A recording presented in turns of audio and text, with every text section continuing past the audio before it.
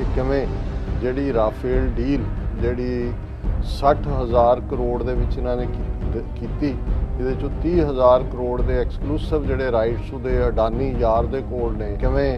France ਦੇ president Macron ਨਾਲ ਮੋਦੀ ਨੇ 1 ਟੂ 1 ਮੀਟਿੰਗ ਕਰਕੇ ਇਹ ਜਿਹੜਾ ਡੀਲ ਜਿਹੜੀ ਪਹਿਲੀ ਸੀ ਉਹਨੂੰ ਕਾ ਪਾਸੇ ਰੱਖ ਕੇ ਇਹ ਦਵਾਈ। ਜਦੋਂ ਇਹੀ ਪੈਟੀਸ਼ਨ ਅਰੁਣ ਸ਼ੋਰੀ ਯਸ਼ਵੰਤ ਸਿਨਹਾ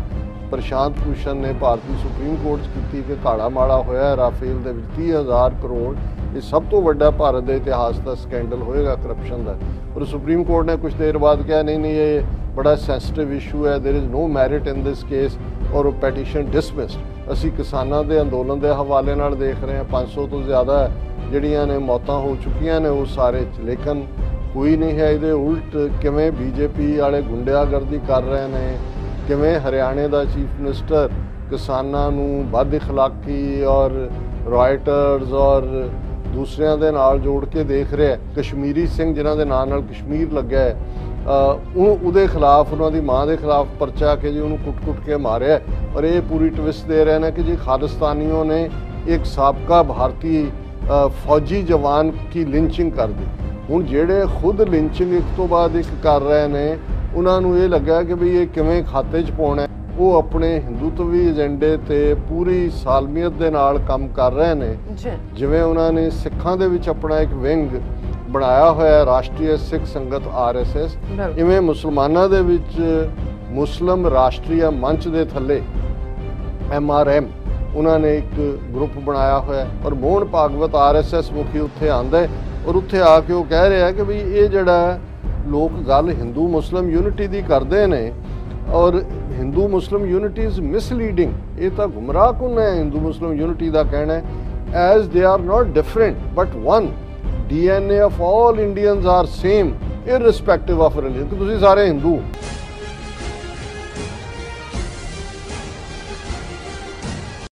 ਦਰਸ਼ਕੋ, ਬ੍ਰੇਕ ਤੋਂ ਬਾਅਦ ਤੁਹਾਡਾ ਸਭ ਦਾ ਭਰਪੂਰ ਸਵਾਗਤ ਹੈ। ਸੋ ਵੀ ਔਰ ਦੂਸਰੇ ਸੈਗਮੈਂਟ ਦੇ ਵਿੱਚ ਆਪਾਂ ਗੱਲਬਾਤ ਕਰਨ ਜਾ ਰਹੇ ਹਾਂ ਕਿ ਆਰਐਸਐਸ ਦੇ ਮੁਖੀ ਮੋਹਨ ਭਾਗਵਤ ਨੇ ਕਿਹਾ ਹੈ ਕਿ ਹਰ ਭਾਰਤ ਵਿੱਚ,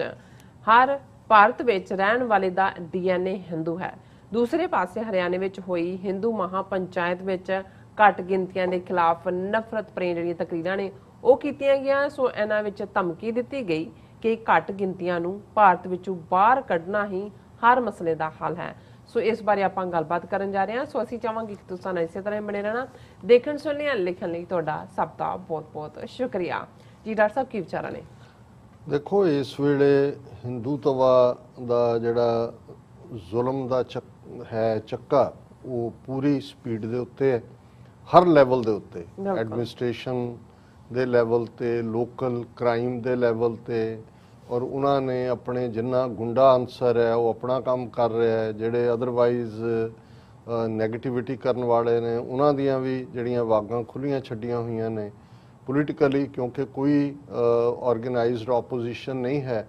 ਔਰ ਇਹਦੇ ਬਾਵਜੂਦ ਕਿ ਇੰਨੇ ਵੱਡੇ ਵੱਡੇ ਸਕੈਂਡਲ ਸਾਹਮਣੇ ਆ ਰਹੇ ਨੇ ਕੋਵਿਡ-19 ਦੀ ਫੇਲਿਅਰ ਦੀ ਅਸੀਂ ਗੱਲ ਦੇਖੀ, ਹੁਣ ਇਹ ਗੱਲ ਸਾਹਮਣੇ ਆਈ ਕਿ ਕਿਵੇਂ ਜਿਹੜੀ ਰਾਫੇਲ ਡੀਲ ਜਿਹੜੀ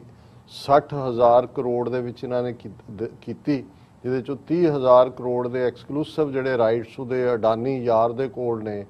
ਔਰ ਉਹਦੇ ਚ ਕਿਵੇਂ ਘਪਲਾ ਹੋਇਆ, ਕਿਵੇਂ ਕਰਪਸ਼ਨ ਹੋਈ, ਕਿਵੇਂ ਫਰਾਂਸ ਦੇ ਪ੍ਰੈਜ਼ੀਡੈਂਟ ਮੈਕਰੋਨ ਨਾਲ ਮੋਦੀ ਨੇ 1 ਟੂ 1 ਮੀਟਿੰਗ ਕਰਕੇ ਇਹ ਜਿਹੜਾ ਡੀਲ ਜਿਹੜੀ ਪਹਿਲੀ ਸੀ ਉਹਨੂੰ ਕਾ, ਪਾਸੇ ਰੱਖ ਕੇ ਇਹ ਦਵਾਈ ਈਵਨ ਫਰਾਂਸ ਦੇ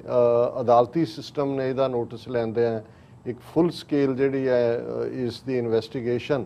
ਫ੍ਰੈਂਚ ਇੱਕ ਜੱਜ ਵੱਲੋਂ ਕੀਤੀ ਜਾ ਰਹੀ ਹੈ। ਹੁਣ ਇਹ ਇੰਨੀ ਵੱਡੀ ਗੱਲ ਹੈ ਕਿ ਜਿੱਥੇ ਇੱਕ ਪਾਸੇ ਭਾਰਤ ਦੇ ਵਿੱਚ ਸੁਪਰੀਮ ਕੋਰਟ ਦੇ ਉਹੀ ਜੱਜਾਂ ਜਿਨ੍ਹਾਂ ਦੀ ਅਗਵਾਈ ਰੰਜਨ ਗੋਗੋਈ ਕਰ ਰਿਹਾ ਸੀ ਚੀਫ ਜਸਟਿਸ ਜਿਹਨੂੰ ਰਿਟਾਇਰਮੈਂਟ ਦੇ 2 ਮਹੀਨੇ ਦੇ ਵਿੱਚ ਵਿੱਚ ਅਪਰ ਹਾਊਸ ਦਾ ਮੈਂਬਰ ਬੀਜੇਪੀ ਨੇ ਨੋਮੀਨੇਟ ਕੀਤਾ ਜਦੋਂ ਇਹੀ ਪੈਟੀਸ਼ਨ ਅਰੁਣ ਸ਼ੋਰੀ ਯਸ਼ਵੰਤ ਸਿਨਹਾ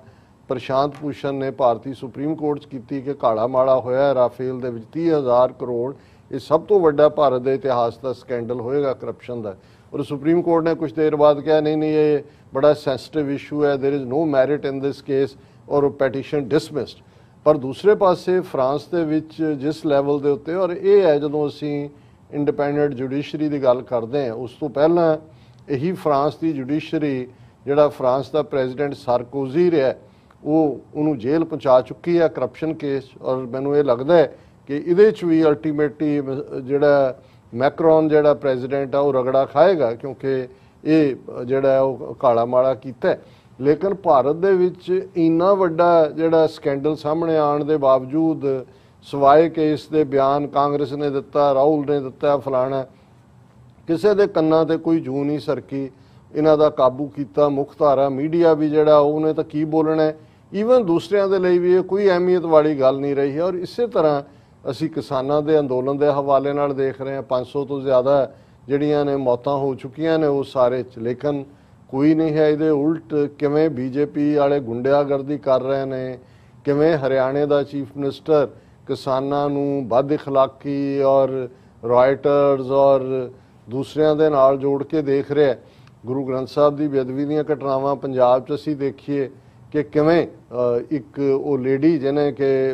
ਪਾਪਣ ਜਿਹਦੇ ਲਈ ਲਫ਼ਜ਼ ਬਿਲਕੁਲ ਠੀਕ ਹੈ ਉਹਨੇ ਕਿਵੇਂ ਆ ਕੇ ਮਹਾਰਾਜ ਦੇ ਸਰੂਪ ਨੂੰ ਜਿਹੜਾ ਅਗਨ ਭੇਟ ਕੀ ਗੁਰਦਾਸਪੁਰ 'ਚ ਇਸ ਕਿਸਮ ਦੀ ਇੱਕ ਸ਼ਰਾਰਤ ਕਰਨ ਵਾਲਾ ਸਾਬਕਾ ਫੌਜੀ ਜਿਸ ਨੂੰ ਲੋਕਾਂ ਨੇ ਸੰਗਤ ਨੇ ਫੜ ਲਿਆ ਔਰ ਉਹਦੀ ਛਤਰੌਲ ਹੋਈ ਚੰਗੀ ਤਰ੍ਹਾਂ ਪੁਲਿਸ ਦੇ ਹਵਾਲੇ ਕੀਤਾ ਬਾਅਦ ਚ ਸ਼ਾਇਦ ਉਹਨਾਂ ਨੇ ਅੱਗੋਂ ਸਿੱਖਾਂ ਦੀ ਫੜੋਫੜੀ ਕਰਨੀ ਹੈ ਉਹਨੂੰ ਪੁਲਿਸ ਨੇ ਕਿਹਾ ਜੀ ਮਰ ਗਿਆ ਕੁੱਟਣ ਹੀ ਮਰ ਗਿਆ। ਔਰ ਮੈਂ ਅੱਜ ਦੇਖ ਰਿਹਾ ਸੀ ਇਹਨਾਂ ਦੇ ਸੋਸ਼ਲ ਮੀਡੀਆ ਤੇ ਕਿ ਜੀ ਉਹ ਹੁਣ ਉੱਥੇ ਇੱਕ ਕਸ਼ਮੀਰੀ ਸਿੰਘ ਜਿਨ੍ਹਾਂ ਦੇ ਨਾਂ ਨਾਲ ਕਸ਼ਮੀਰ ਲੱਗਾ ਹੈ ਉਹ ਉਹਦੇ ਖਿਲਾਫ, ਉਹਨਾਂ ਦੀ ਮਾਂ ਦੇ ਖਿਲਾਫ ਪਰਚਾ ਕਿ ਜੀ ਉਹਨੂੰ ਕੁੱਟ-ਕੁੱਟ ਕੇ ਮਾਰਿਆ ਔਰ ਇਹ ਪੂਰੀ ਟਵਿਸਟ ਦੇ ਰਹੇ ਨੇ ਕਿ ਜੀ ਖਾਲਿਸਤਾਨੀਆਂ ਨੇ ਇੱਕ ਸਾਬਕਾ ਭਾਰਤੀ ਫੌਜੀ ਜਵਾਨ ਕੀ ਲਿੰਚਿੰਗ ਕਰ ਦੀ ਹੁਣ ਜਿਹੜੇ ਖੁਦ ਲਿੰਚਿੰਗ ਇੱਕ ਤੋਂ ਬਾਅਦ ਇੱਕ ਕਰ ਰਹੇ ਨੇ, ਉਹਨਾਂ ਨੂੰ ਇਹ ਲੱਗਾ ਕਿ ਵੀ ਇਹ ਕਿਵੇਂ ਖਾਤੇ 'ਚ ਪਾਉਣਾ ਅਸੀਂ ਇਸੇ ਤਰ੍ਹਾਂ ਕਸ਼ਮੀਰ ਵਿਚਲੇ ਮੁੱਦੇ ਨੂੰ ਦੇਖਿਆ ਕਿ ਸਿੱਖ ਬੱਚੀਆਂ ਦੇ ਮੁੱਦੇ ਨੂੰ ਕਿਵੇਂ ਉਹਨਾਂ ਨੇ ਮਨਜਿੰਦਰ ਸਿਰਸਾ ਔਰ ਦੂਸਰੇ ਲੋਕਾਂ ਰਾਹੀਂ ਆਊਟ ਆਫ ਪ੍ਰੋਪੋਰਸ਼ਨ ਬਲੋ ਕਰਵਾ ਕੇ ਉਸ ਸਾਰੇ ਚੋਂ ਕਿਸ ਕਿਸਮ ਦੀ ਹੁਣ ਇੱਕ ਮੀਟਿੰਗ ਵੀ ਅਮਿਤ ਸ਼ਾਹ ਨਾਲ ਹੋਈ ਕਿ ਜੀ ਸਿੱਖ ਕਸ਼ਮੀਰ ਦੇ ਸਿੱਖਾਂ ਦਾ ਜਿਹੜਾ ਉਹ ਡੈਲੀਗੇਸ਼ਨ ਮਿਲਿਆ ਐਂਟਾਈ ਕਨਵਰਜਨ ਲਾਅ ਸੋ ਉਹਨਾਂ ਨੇ ਹਰ ਫਰੰਟ ਖੋਲਿਆ ਹੋਇਆ। ਪਰ ਦੂਸਰੇ ਪਾਸੇ ਤੁਸੀਂ ਦੇਖੋ ਕਿ ਕਿਵੇਂ ਉਹ ਆਪਣੇ ਹਿੰਦੂਤਵੀ ਏਜੰਡੇ ਤੇ ਪੂਰੀ ਸਾਲਮੀਅਤ ਦੇ ਨਾਲ ਕੰਮ ਕਰ ਰਹੇ ਨੇ। ਜਿਵੇਂ ਉਹਨਾਂ ਨੇ ਸਿੱਖਾਂ ਦੇ ਵਿੱਚ ਆਪਣਾ ਇੱਕ ਵਿੰਗ ਬਣਾਇਆ ਹੋਇਆ ਰਾਸ਼ਟਰੀ ਸਿੱਖ ਸੰਗਤ ਆਰਐਸਐਸ। ਇਵੇਂ ਮੁਸਲਮਾਨਾਂ ਦੇ ਵਿੱਚ ਮੁਸਲਮ ਰਾਸ਼ਟਰੀ ਮੰਚ ਦੇ ਥੱਲੇ ਐਮਆਰਐਮ ਉਹਨਾਂ ਨੇ ਇੱਕ ਗਰੁੱਪ ਬਣਾਇਆ ਹੋਇਆ ਔਰ ਮੁਸਲਿਮ ਰਾਸ਼ਟਰੀ ਮੰਚ ਵੱਲੋਂ ਇੱਕ ਮੁਸਲਮਾਨ ਨਾਮ ਵਾਲੇ ਆਥਰ ਤੋਂ ਇਹ ਕਿਤਾਬ ਕਿ ਜੀ ਅਸੀਂ ਇੱਕੋ ਹੀ ਹਾਂ ਔਰ ਉਸ ਦਾ ਥੀਮ ਹੀ ਰੱਖਿਆ ਹੈ ਹਿੰਦੁਸਤਾਨੀ ਫਸਟ ਹਿੰਦੁਸਤਾਨੀ ਫਸਟ। ਔਰ ਇਹ ਗਾਜ਼ੀਆਬਾਦ ਦੇ ਵਿੱਚ ਫੰਕਸ਼ਨ 4 ਜੁਲਾਈ ਨੂੰ ਔਰ ਮੋਹਨ ਭਾਗਵਤ ਆਰਐਸਐਸ ਮੁਖੀ ਉੱਥੇ ਆਂਦਾ ਹੈ ਔਰ ਉੱਥੇ ਆ ਕੇ ਉਹ ਕਹਿ ਰਿਹਾ ਕਿ ਵੀ ਇਹ ਜਿਹੜਾ ਲੋਕ ਗੱਲ ਹਿੰਦੂ ਮੁਸਲਮ ਯੂਨਿਟੀ ਦੀ ਕਰਦੇ ਨੇ ਔਰ Hindu Muslim unity is misleading ਇਹ ਤਾਂ ਗੁੰਮਰਾਹਕੁਨ ਹੈ? ਹਿੰਦੂ ਮੁਸਲਮ ਯੂਨਿਟੀ ਦਾ ਕਹਿਣਾ ਹੈ। As they are not different but one DNA of all Indians are same irrespective of religion ਕਿ ਤੁਸੀਂ ਸਾਰੇ ਹਿੰਦੂ ਵੀ ਈਵਨ ਤੁਸੀਂ ਜੇ ਮੁਸਲਮਾਨ ਆਪਣੀ ਆਇਡੈਂਟੀਟੀ ਦੀ ਗੱਲ ਵੀ ਕਰਦੇ ਹੋ ਤੇ ਤੁਸੀਂ ਜਿਹੜਾ ਵਾਇਲੇਟ ਕਰ ਰਹੇ ਹੋ ਇੰਡੀਅਨ ਨੈਸ਼ਨਲਿਜ਼ਮ ਨੂੰ, ਉਹਨੇ ਕਿਹਾ ਜੀ, ਇਹ ਦੋ ਹੀ ਚੀਜ਼ਾਂ ਨੇ ਜਿਹੜਾ ਇੱਥੋਂ ਦੀ ਸਾਨੂੰ, ਸਾਡੀ ਯੂਨਿਟੀ ਹੈ। Unity should be based on nationalism and glory of ancestors ਕਿ ਆਪਣੇ ਪਿੱਤਰ ਪਿੱਤਰ ਉਹੀ ਹਿੰਦੂ ਤੋਂ ਵੀ ਜਿਹੜਾ ਝੂਠ ਗਮਲਿਆਂ 'ਚ ਬੱਚੇ ਉਗਾਉਣ ਵਾਲੇ ਔਰ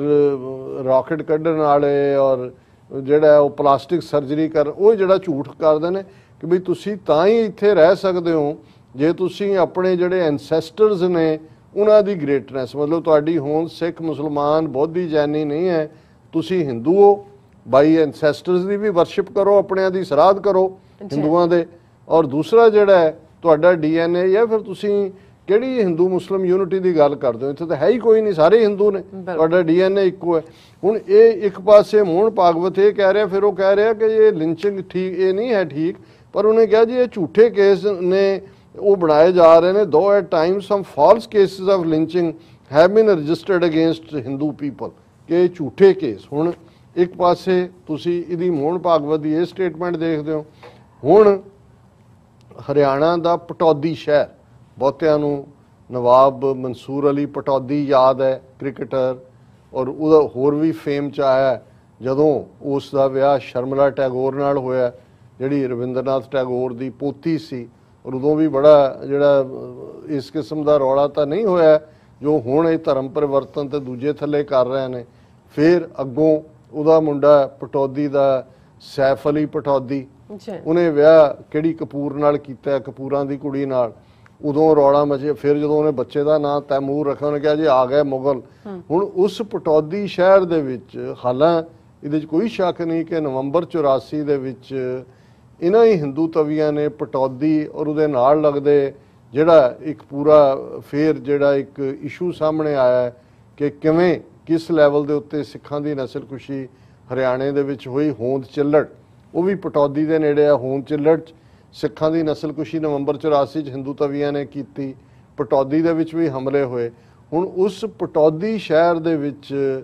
ਜਿਹੜਾ ਜ਼ਾਹਰ ਹੈ, ਰਿਆਸਤ ਨਵਾਬ ਤਾਂ ਹੁਣ ਨਹੀਂ ਰਹੇ, ਪਰ ਉਹਨਾਂ ਦੇ ਆਪਣੇ ਕਾਰਜਾਂ ਉਹਨਾਂ ਦੀ ਟ੍ਰੈਡੀਸ਼ਨਲ ਰਿਆਸਤ ਹੈ। ਅੱਛਾ। ਉੱਥੇ ਉਹਨਾਂ ਨੇ ਹਿੰਦੂ ਤਵੀਆਂ ਨੇ ਮਹਾ ਪੰਚਾਇਤ ਮਹਾ ਪੰਚਾਇਤ ਦਾ ਇਹਨਾਂ ਦਾ ਮਤਲਬ ਹੁੰਦਾ ਹੈ ਕਿ ਲਾਗਲੇ ਕਈ ਜਿਹੜੇ ਪਿੰਡਾਂ ਦੀ ਪੰਚਾਇਤਾਂ ਦੇ ਲੋਕ ਇਕੱਠੇ ਹੁੰਦੇ ਨੇ ਔਰ ਇਹ ਜਿਹੜਾ ਮਹਾ ਪੰਚਾਇਤ ਕੀਤੀ ਉੱਥੇ ਭਾਰਤੀ ਜਨਤਾ ਪਾਰਟੀ ਨੇ ਕੀਤੀ ਤੇ ਕਰਨੀ ਸੈਨਾ ਜਿਹੜੀ ਇਹਨਾਂ ਦੀ ਬਜਰੰਗ ਦਲ ਵਾਂਗ ਇੱਕ ਬੜੀ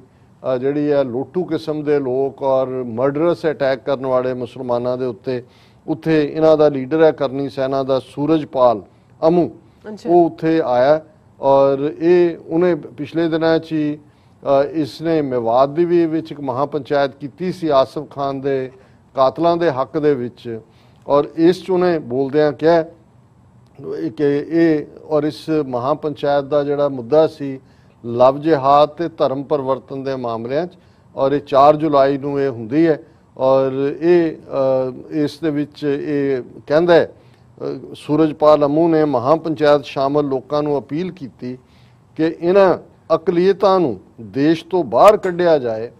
ਤਾਂ ਜੋ ਸਬੰਧਤ ਸਮੱਸਿਆਵਾਂ ਖਤਮ ਹੋ ਸਕਣ। ਕਿ ਜੀ ਇਹ ਜੇ ਲਵ ਜਿਹਾਦ, ਧਰਮ ਪਰਿਵਰਤਨ ਔਰ ਜੋ ਮੁਲਕ ਦਾ 네ਗੇਟਿਵਿਟੀ ਹੈ, ਇਹਦੇ ਲਈ ਅਕਲੀਤਾਂ ਜਿਵੇਂ ਉਹੀ ਜੋ ਨਾਜ਼ੀਆਂ ਨੇ ਜਦੋਂ ਅਸੀਂ ਕਹਿੰਦੇ ਹਾਂ ਕਿ ਆਰਐਸਐਸ ਫਾਊਂਡ ਹੀ ਇਸ ਬਿਨਾ ਤੇ ਹੋਈ ਸੀ, ਜਦੋਂ ਗੋ- ਇਹਨੇ ਗੋਲਵਲਕਰ ਨੇ ਕਿਹਾ ਸੀ ਕਿ ਜੋ ਸੋਲੂਸ਼ਨ ਅਕਲੀਅਤਾਂ ਦਾ ਹਿਟਲਰ ਨੇ ਕੱਢਿਆ ਉਹੀ ਭਾਰਤ ਵਿੱਚ ਆ ਔਰ ਇਹ ਇਸ ਮਹਾ ਪੰਚਾਇਤ ਦੇ ਵਿੱਚ ਸੂਰਜਪਾਲ ਇਹਨਾਂ ਦਾ ਲੀਡਰ ਕਹਿ ਰਿਹਾ ਕਿ ਇਹਨਾਂ ਨੂੰ ਦੇਸ਼ ਤੋਂ ਬਾਹਰ ਕੱਢੋ। ਔਰ ਉਹਨਾਂ ਨੇ ਕਿਹਾ ਉਹਨਾਂ ਨੇ ਨੌਜਵਾਨਾਂ ਨੂੰ ਅਜੇ ਪਾਰਕਾਂ ਵਿੱਚੋਂ ਪੱਥਰ ਪੁੱਟ ਸੁੱਟਣ ਲਈ ਕਿਹਾ ਜਿੱਥੇ ਅਕਲੀਤਾਂ ਦੇ ਲੋਕਾਂ ਦੇ ਨਾਮ ਦੇਖੇ ਜਾ ਸਕਦੇ ਨੇ ਕਿ ਜਿਹੜਾ ਵੀ ਕਿਸੇ ਨੇ ਕੋਈ ਉਦਘਾਟਨ ਕੀਤਾ ਕੋਈ ਮੁਸਲਮਾਨੀ ਨਾਂ ਹੈ ਕੋਈ ਸਿੱਖ ਨਾਂ ਹੈ ਕੋਈ ਈਸਾਈ ਨਾਂ ਹੈ ਉਹ ਸਾਰੇ ਪੱਥਰ ਪੁੱਟ ਦਿਓ। ਔਰ ਉਹਨਾਂ ਨੇ ਕਿਹਾ ਕਿ ਜੀ ਮੈਂ ਜਿਹੜਾ ਬੋਹਰ ਕਲਾਂ ਪਿੰਡ ਹੈ ਉਹਨਾਂ ਨੂੰ ਮੁਬਾਰਕਬਾਦ ਦਿੰਦਾ ਹੈ ਕਿਉਂਕਿ ਉਹਨਾਂ ਪਿੰਡ ਵਾਲਿਆਂ ਨੇ ਪਿੰਡ ਦੇ ਵਿੱਚ ਮਸਜਿਦ ਨਹੀਂ ਬਣਨ ਦਿੱਤੀ। ਇਹ 2 ਸਾਲ ਪੁਰਾਣਾ ਕੇਸ ਹੈ। ਮੁਸਲਮਾਨ ਕਾਫੀ ਵੱਡੀ ਗਿਣਤੀ 'ਚ ਨੇ। ਪਿੰਡ ਵਾਲਿਆਂ ਨੇ ਮਸਜਿਦ ਆ ਕੇ ਰੁਕਵਾ ਦਿੱਤੀ। ਉਹਨਾਂ ਨੇ ਕਿਹਾ ਕਿ ਭਾਈ ਤੁਸੀਂ ਇੱਥੇ ਮਸਜਿਦ ਨਹੀਂ ਬਣਾ ਸਕਦੇ। ਔਰ ਨਾਲ ਦੀ ਨਾਲ ਸੂਰਜਪਾਲ ਨੇ ਆਪਣੇ ਸੰਬੋਧਨ 'ਚ ਕਿਹਾ ਕਿ ਵੀ ਤੁਸੀਂ ਤਾਂ ਇਹ ਰੈਜ਼ੋਲੂਸ਼ਨ ਕੀਤਾ ਹੈ ਵੀ ਇਹਨਾਂ ਨੂੰ ਅਕਲੀਤਾਂ ਨੂੰ, ਮੁਸਲਮਾਨਾਂ ਨੂੰ ਮਕਾਨ ਕਿਰਾਏ ਤੇ ਨਾ ਦਿੱਤਾ ਜਾਏ, ਪਰ ਮੈਂ ਇਹਦੇ ਤੋਂ ਸੰਤੁਸ਼ਟ ਨਹੀਂ ਹੈ।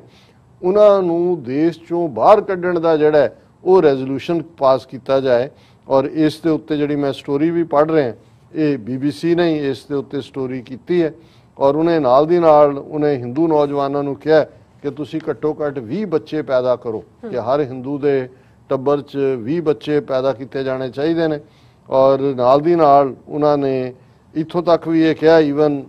ਸੈਫ ਅਲੀ ਖਾਨ ਔਰ ਨਵਾਬ ਪਟੌਦੀ ਦੇ ਟੱਬਰ ਦੇ ਉੱਤੇ ਵੀ ਹਮਲੇ ਕੀਤੇ। ਉਹਨਾਂ ਦੇ ਔਰ ਕਾਫੀ ਉਹਨਾਂ ਨੇ ਮੈਂ ਪੜ੍ਹ ਨਹੀਂ ਸਕਦਾ ਜਿਸ ਕਿਸਮ ਦੀਆਂ ਗੱਲਾਂ ਉਹਨਾਂ ਨੇ ਸ਼ਰਮਲਾ ਟੈਗੋਰ ਔਰ ਸੈਫ ਅਲੀ ਖਾਨ ਦੇ ਖਿਲਾਫ ਕਹੀਆਂ। ਅੱਛਾ ਔਰ ਤੈਮੂਰ ਜਿਹੜਾ ਉਹਨਾਂ ਦਾ ਬੱਚਾ ਹੈ ਉਹਨੂੰ ਵੀ ਉਹਨਾਂ ਨੇ ਕਿਹਾ ਕਿ ਭਾਈ ਇਹ ਮੁਗਲਾਂ ਦੀ ਔਲਾਦ ਹੈ ਔਰ ਇਹਨਾਂ ਨੂੰ ਜਿਹੜਾ ਉਹ ਸਬਕ ਸਿਖਾਇਆ ਜਾਏ। ਔਰ ਜਦੋਂ ਭਾਰਤੀ ਜਨਤਾ ਪਾਰਟੀ ਦੇ ਸੀਨੀਅਰ ਲੀਡਰਾਂ ਨੂੰ ਪੁੱਛਿਆ ਗਿਆ ਕਿ ਬਈ ਇਹ ਕੀ ਹੈ ਉਹਨਾਂ ਨੇ ਕਿਹਾ ਜੀ ਇਹ ਉਹਦੇ ਨਿੱਜੀ ਵਿਚਾਰ ਨੇ ਔਰ ਈਵਨ ਇਹ ਜਿਸ ਲੈਵਲ ਦੀ ਇਹ ਪ੍ਰੋਵੋਕੇਟਿਵ ਸਪੀਚ ਕੀਤੀ ਗਈ ਇਸ ਗੱਲ ਦਾ ਧਿਆਨ ਰਹੇ ਕਿ ਇਹ ਜਿਹੜਾ ਬੰਦਾ ਇੱਕ ਜਿਨੇ ਸ਼ਾਹੀਨ ਬਾਗ ਦੇ ਪ੍ਰੋਟੈਸਟ ਵੇਲੇ ਆ ਕੇ ਗੋਲੀ ਚਲਾਈ ਸੀ ਔਰ ਜਿਸ ਨੂੰ ਜਿਹੜਾ ਉਹ ਫੜਨ ਤੋਂ ਬਾਅਦ ਉੱਥੇ ਦਿੱਲੀ ਵਾਲਿਆਂ ਨੇ ਛੱਡਤਾ ਇਸ ਉੱਤੇ ਖਿਲਾਫ ਕੋਈ ਕੇਸ ਨਹੀਂ ਕੀਤਾ ਉਹ ਇੱਥੇ ਵੀ ਪਹੁੰਚ ਜਾਂਦਾ ਔਰ ਇਹ ਦਾ ਹਿੰਦੂ ਦੀ ਖਬਰ ਹੈ ਕਿ ਵੀ ਕਿਵੇਂ ਉਹਨਾਂ ਨੇ ਉਹ ਵੀਡੀਓ ਸਾਹਮਣੇ ਆਈ ਹੈ ਕਿ ਕਿਵੇਂ ਇਸ ਬੰਦੇ ਨੇ ਇਹ ਕਿਹਾ ਕਿ ਵੀ ਕਿਡਨੈਪ ਮੁਸਲਿਮ ਔਮਨ ਔਰ ਫਿਰ ਉਹਨੇ ਕਿਹਾ ਕਿ ਵੀ ਇਹ and kidnap them and they should be killed and before killing they will scream Ram Ram ਉਹਨੇ ਕਿਹਾ ਜੀ ਇਹਨਾਂ ਨੂੰ ਫੜੋ, ਇਹਨਾਂ ਨੂੰ ਮਾਰ ਦਿਓ ਔਰ ਇਹ ਫੋਟੋ ਦੇਖ ਸਕਦੇ ਨੇ, ਦਰਸ਼ਕ ਇਹ ਉਹੀ ਬੰਦਾ ਹੈ ਜਿਨੇ ਦਿੱਲੀ ਦੇ ਵਿੱਚ ਪੁਲਿਸ ਦੀ ਮੌਜੂਦਗੀ ਦੇ ਵਿੱਚ ਆ ਕੇ ਫਾਇਰ ਕੀਤਾ ਸੀ ਔਰ ਮਹਾ ਪੰਚਾਇਤ ਜਿਹੜੀ ਹੈ ਉਹਦੇ ਚ ਉਹਨੇ ਕਿਹਾ ਕਿ ਇਹ ਜਿਹੜਾ ਸਾਰਾ ਪਾਰਟ ਹੈ ਇਹ ਸਾਰੇ ਜਿਹਾਦੀ ਨੇ। ਉਹਨੇ ਕਿਹਾ ਕਿ when he could travel 100 kilometre to Jamia in support of citizenship act Pataudi was not very, very far off he alleged assertions were met with loud cheers ਉਹਨੇ ਕਿਹਾ ਜੀ ਜੇ ਮੈਂ 200 ਮੀਲ ਦੂਰ ਜਾ ਕੇ ਉੱਥੇ ਸ਼ਾਹੀਨ ਬਾਗ ਔਰ ਜਾਮੀਆ ਮਿਲਿਆ ਇਸਲਾਮੀਆ 'ਚ ਗੋਲੀ ਚਲਾ ਸਕਦਾ। ਇਹ ਇੰਨੀ ਦੂਰ ਨਹੀਂ ਹੈ ਔਰ ਉਹਨੇ ਜਦੋਂ ਇਹ ਐਲਾਨ ਕੀਤਾ ਤੇ ਇਹ ਜਿਹੜਾ ਹੈ ਲੋਕਾਂ ਨੇ ਤਾੜੀਆਂ ਮਾਰੀਆਂ। ਔਰ ਇਹ ਮੈਂ ਹਿੰਦੂ ਉਹਨਾਂ ਦੀ ਅਖਬਾਰ ਦੀ ਰਿਪੋਰਟਿੰਗ ਕਰ ਰਿਹਾ ਫਿਰ ਉਹਨੇ ਨਾਰਾ ਲਵਾਇਆ ਜਬ ਮੁੱਲੇ ਕਾਟੇ ਜਾਏਂਗੇ ਰਾਮ ਰਾਮ ਚਿਲਾਏਂਗੇ। ਕਿ ਭਾਈ ਜਦੋਂ ਇਹਨਾਂ ਨੂੰ ਮਾਰੋਗੇ ਇਹ ਫਿਰ ਰਾਮ ਰਾਮ ਹੀ ਕਹਿਣਗੇ। ਔਰ ਉਹਨੇ ਇਹ ਕਿਹਾ ਕਿ ਜੇ ਉਹ ਅ, ਜਿਹੜਾ why can't we kidnap their woman ਕਿ ਜੀ ਅਸੀਂ ਲਵ ਜਿਹਾਦ ਲਵ ਜਿਹਾਦ ਕਰਦੇ ਹਾਂ ਅਸੀਂ ਉਹਨਾਂ ਦੀਆਂ ਔਰਤਾਂ ਨੂੰ ਜਿਹੜਾ ਹੈ ਕਿਉਂ ਨਹੀਂ ਕਿਡਨੈਪ ਕਰਦੇ ਔਰ ਇਸ ਸਾਰੇ ਦੇ ਵਿੱਚ ਔਰ ਇਹ- ਫਿਰ ਉਹਨੇ ਇਹ ਕਿਹਾ ਕਿ they cut moustache but we are capable of cutting throats ਕਿ ਹੁਣ ਮੁਸਲਮਾਨ ਜਿਹੜੇ ਨੇ ਉਹ ਆਪਣੇ ਲੱਭ ਜਿਹੜਾ ਉਹ- ਉਹਨਾਂ ਦੀ ਜਿਹੜਾ ਮੁੱਛਾਂ ਨੂੰ ਥੋੜਾ ਇਸਲਾਮਿਕ ਸਟਾਈਲ ਚ ਉਹਨੇ ਕਿਹਾ ਜੀ ਜੇ ਉਹ ਇਹ ਕੱਟ ਸਕਦੇ ਨੇ ਅਸੀਂ ਤਾਂ ਗਲੇ ਕੱਟਣ ਦੀ ਸਮਰੱਥਾ ਰੱਖਦੇ। ਔਰ ਇਹ ਜਦੋਂ ਹੁਣ ਡਿਪਟੀ ਕਮਿਸ਼ਨਰ ਨੂੰ ਕਿਹਾ ਗਿਆ ਵੀ ਇਸ ਕਿਸਮ ਦੀਆਂ ਤਕਰੀਰਾਂ ਦੇ ਬਾਵਜੂਦ ਕੋਈ ਕੇਸ ਕਿਉਂ ਨਹੀਂ ਰਜਿਸਟਰ ਹੋਇਆ ਉਹਨੇ ਕਿਹਾ ਜੀ ਅਜੇ ਤੱਕ ਜਿਹੜਾ ਸਾਨੂੰ ਕੋਈ ਸ਼ਿਕਾਇਤ ਨਹੀਂ ਆਈ। ਸੋ ਇਹ ਮਾਹੌਲ ਉੱਥੇ ਬਣਿਆ ਹੋਇਆ ਔਰ ਅਸੀਂ ਅਗੇਨ ਪਿਛਲੇ ਪ੍ਰੋਗਰਾਮਾਂ 'ਚ ਵੀ ਅਸੀਂ ਡਿਸਕਸ ਕੀਤਾ ਕਿ ਕਿਵੇਂ ਹਿੰਦੂਤਵੀ ਅੰਸਰ ਸਿੱਖਾਂ ਨੂੰ ਉਹਨਾਂ ਦੇ ਵਿੱਚ ਮਨਜਿੰਦਰ ਸਰਸਾ ਪੇਸ਼-ਪੇਸ਼ ਹੈ ਰਮਣੀਕ ਮਾਨ ਨਾਂ ਦਾ ਇੱਕ ਜਿਹਨੂੰ ਬੜੀ ਪ੍ਰਮੋਸ਼ਨ ਦਿੱਤੀ ਜਾ ਰਹੀ ਹੈ ਇਹਨਾਂ ਦੇ ਵੈਬਸਾਈਟਸ ਵੱਲੋਂ।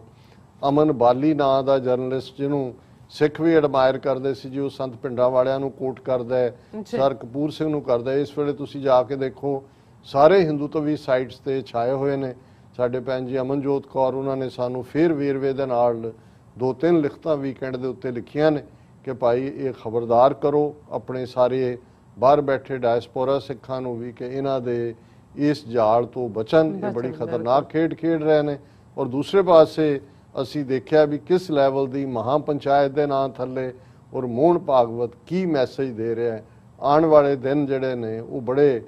ਹੀ ਜਿਹੜੇ ਨੇ ਉਹ ਖਤਰਨਾਕ ਹੋਣਗੇ ਅਕਲੀਅਤਾਂ ਦੇ ਲਈ। ਸਾਨੂੰ ਇੱਕ ਦੂਸਰੇ ਦੀ ਲੋੜ ਹੈ ਸਿੱਖ ਮੁਸਲਮਾਨ ਈਸਾਈ ਦਲਿਤ। ਜੇ ਅਸੀਂ ਇਹਨਾਂ ਦੀ ਇਸ ਗੇਮ ਪਲਾਨ ਦੇ ਵਿੱਚ ਫਸੇ ਤੇ ਕੱਲੇ ਕੱਲੇ ਕੁੱਟ ਖਾਵਾਂਗੇ ਔਰ ਇਸ ਵੇਲੇ ਬ੍ਰਾਹਮਣਵਾਦ ਦਾ ਨਾਦ ਪੂਰੇ ਜ਼ੋਰ ਨਾਲ ਵੱਜ ਰਿਹਾ ਹੈ ਔਰ ਸਾਰੀ ਸਟੇਟ ਮਸ਼ੀਨਰੀ ਔਰ ਸਾਰਾ ਮੀਡੀਆ ਔਰ ਸੋਸ਼ਲ ਮੀਡੀਆ ਰਾਹੀਂ ਉਹ ਇੱਕ ਦੂਜੇ ਪ੍ਰਤੀ ਅਕਲੀਤਾ ਪ੍ਰਤੀ ਪੂਰਾ ਨਫ਼ਰਤ ਫੈਲਾ ਰਹੇ ਨੇ ਔਰ ਇੱਕ ਦੂਸਰੇ ਨੂੰ ਲੜਾਉਣ ਦੀ ਕੋਸ਼ਿਸ਼ ਕਰ ਰਹੇ ਨੇ। ਬਿਲਕੁਲ ਡਾਕਟਰ ਸਾਹਿਬ ਤੁਹਾਡਾ ਬਹੁਤ ਬਹੁਤ ਸ਼ੁਕਰੀਆ। ਸੋ ਥਲੇ ਨੇ ਬ੍ਰੇਕ ਵਿਊਅਰਸ ਤੁਸੀਂ ਸਾਨੂੰ ਇਸੇ ਤਰ੍ਹਾਂ ਬਨੇ ਰਹਿਣਾ। ਮਿਲਦੇ ਹਾਂ ਛੋਟੇ ਜਿਹੇ ਵਕਫੇ ਤੋਂ ਬਾਅਦ।